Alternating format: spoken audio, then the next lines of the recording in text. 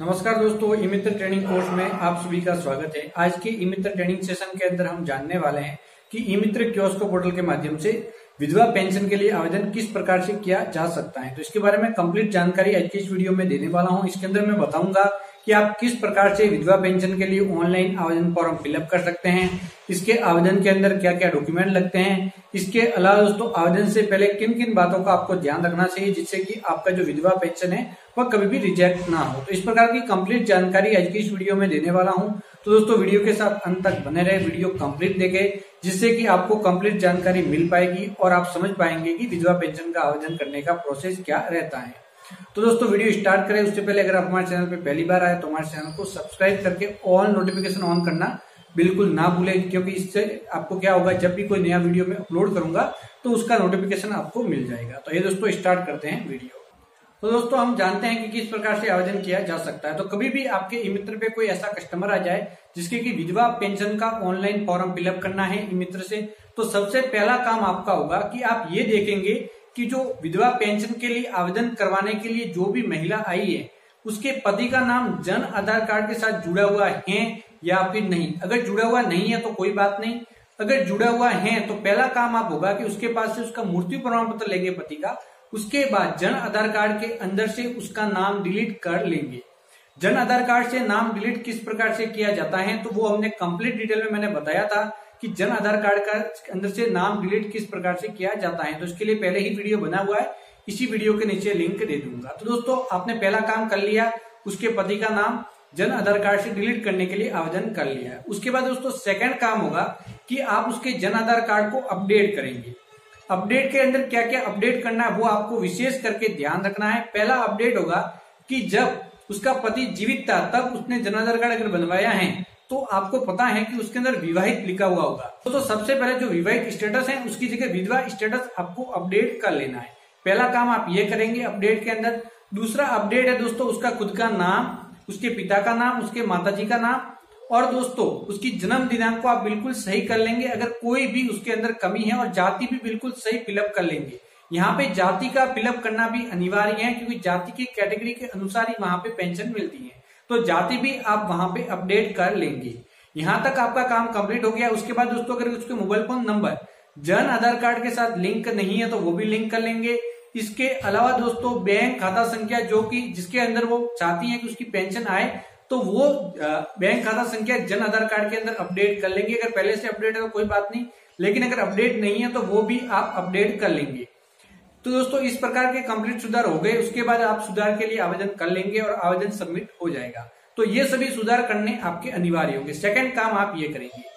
दोस्तों थर्ड काम यहाँ पे होता है कि आपने पहला काम किया, उसके पति का नाम डिलीट कर लिया। सेकंड उसके जन आधार कार्ड के अंदर सुधार कर लिया।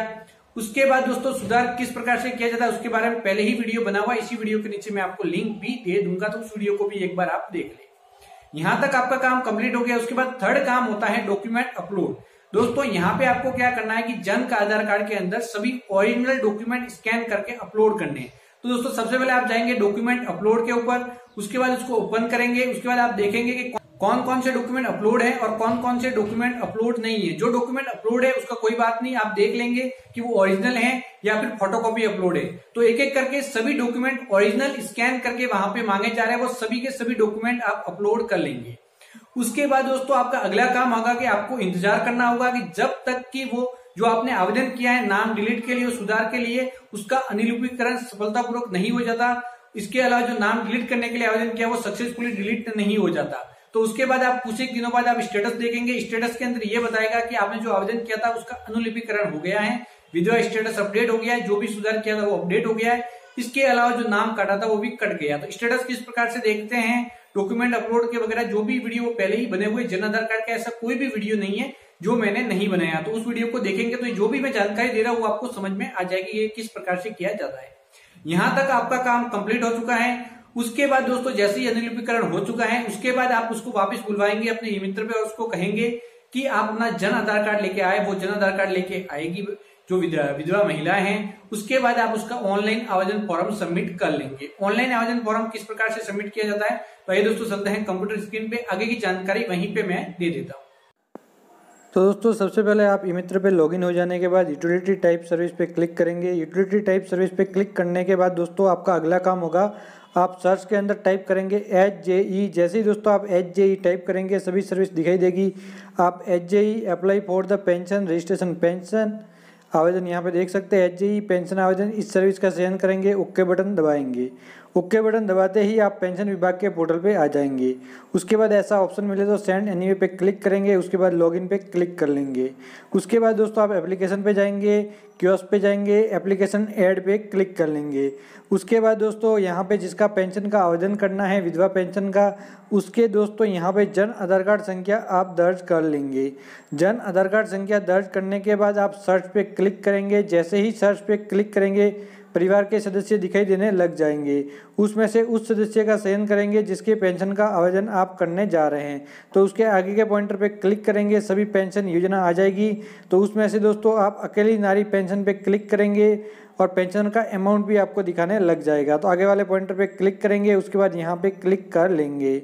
उसके बाद दोस्तों पेंशनर का जो फिंगरप्रिंट है वो बायोमेट्रिक मशीन पे लगा के कैप्चर बायो पे क्लिक करेंगे और जैसे ही कैप्चर बायो पे क्लिक करेंगे, यहाँ पे राइट का निशान आएगा, आप गेट डिटेल पे क्लिक करेंगे और यहाँ पे डिटेल ओपन हो जाएगी। उसके बाद दोस्तों, आप देख सकते हैं यहाँ पे विलेज और वार्ड चयन करना होगा। ग्रामीण क्षेत्र से है तो विलेज चयन करना होगा। शहरी क्षेत्र से होने के मामलों में आप वार्ड यहाँ पे चयन कर लेंगे। इसके बाद दूसरी डिटेल की भी जाँच कर लेंगे, बिल्कुल सही है या फिर नहीं तो एक बार आपको जाँच करना यहाँ पे अनिवार्य होगा। इसके अलावा दोस्तों, अगर आप चाहें तो मोबाइल फ़ोन नंबर भी यहाँ से अपडेट कर सकते हैं। उसके बाद अंत में आप सेव बटन पर क्लिक करेंगे, ये वाली डिटेल सक्सेसफुली सेव हो जाएगी। सेव हो जाने के बाद दोस्तों, आपको यहाँ पर एक आवेदन क्रमांक मिल जाएँगे। दोस्तों, ये सेव हो गई हैं। आवेदन एप्लीकेशन नंबर आपको मिल गए हैं, इसको नोट करके ओके बटन आप दबा देंगे। उसके बाद दोस्तों, आप क्लिक करेंगे बैंक डिटेल के ऊपर। बैंक डिटेल पे क्लिक करने के बाद दोस्तों, जो जन आधार कार्ड के साथ बैंक खाता लिंक है, वो दिखाई देने लग जाएगा। अगर नहीं लगता तो दोस्तों, आप आई कोड डाल के सर्च पे क्लिक करेंगे और बैंक अकाउंट नंबर और कन्फर्म बैंक अकाउंट नंबर आप यहाँ पे डाल देंगे। उसके बाद दोस्तों, यहाँ तक काम आपका कंप्लीट हो गया। उसके बाद वैलिडेट डिटेल पे क्लिक करेंगे। यहाँ पे घोषणा करते वक्त पे क्लिक करेंगे कि मेरी आय अठारह, अड़तालीस हज़ार से कम है, फिर ड्रम ले लेंगे। उसके बाद आई एग्री करके अपडेट पे क्लिक कर लेंगे। अपडेट पे क्लिक करने के बाद अपडेट सक्सेसफुली हो जाएगा, फिर ओके बटन दबाएँगे, उसके बाद सेव एंड एग्जिट पे क्लिक करेंगे। उसके बाद दोस्तों आप वापस यहाँ एप्लीकेशन पे जाएँगे। एप्लीकेशन पे जाने के बाद दोस्तों आप यहाँ पे एप्लीकेशन एडिट पे क्लिक करके अगर कोई कमी रह गई है तो एप्लीकेशन एडिट भी कर सकते हैं। जैसे ही एडिट पे क्लिक करेंगे, दो ऑप्शन मिलेंगे, कंप्लीट है या फिर इनकम्प्लीट है, जिसमें भी मिले सो पे क्लिक करेंगे, आपको एडिट और डिलीट का ऑप्शन मिल जाएगा। अगर आप आगे आवेदन नहीं करना चाहते, डिलीट पे क्लिक करके डिलीट भी कर सकते हैं। उसके बाद दोस्तों क्योस पे जाएँगे, फिर E Mitra payment for verification पे क्लिक कर लेंगे। क्लिक करते ही दोस्तों यहाँ डिटेल दिखाई देने लग जाएगी। आप देख लेंगे ये डिटेल सही है या फिर नहीं। उसके बाद अंत में प्रोसेस फॉर द इमेंट इमित्र पेमेंट पे आप क्लिक कर लेंगे। प्रोसेस फॉर इमित्र पेमेंट पे क्लिक करते ही आपके ई मित्र वॉलेट से पेमेंट कट जाएगा और आवेदन सक्सेसफुली सबमिट हो जाएगा और यहाँ पे रिसिप्ट दिखाई देने लग जाएगी। उसके प्रिंट करके कस्टमर को दे देंगे और आपका आवेदन सक्सेसफुली यहाँ पे हो जाएगा। किसी कारण वापस लौटाया जाता है तो रिवेस्ट एप्लीकेशन पे आपको दिखाई देने लग जाता है। यहाँ पे आपको दिखाई देने लग जाता है। तो दोस्तों, ये तरीका था ऑनलाइन आवेदन फॉर्म सबमिट करने का। एक बार आपका ऑनलाइन आवेदन फॉर्म सक्सेसफुली सबमिट हो गया है। उसके बाद संबंधित अधिकारी इसकी जाँच करेगा कि जो आपने आवेदन किया है, वो बिल्कुल सही है या फिर नहीं। उसको अगर लगता है कि आपने आवेदन किया बिल्कुल सही है तो आपका आवेदन अप्रूव हो जाएगा। अप्रूव होने के बाद आप स्टेटस किस प्रकार से देखेंगे, इसके अलावा भी दोस्तों, कोई भी आपको बैंक से संबंधित कोई भी जानकारी की ज़रूरत है तो इसके बारे में भी पहले ही वीडियो बने हुए उनके लिंक भी मैं इसी वीडियो के नीचे आपको मिल जाए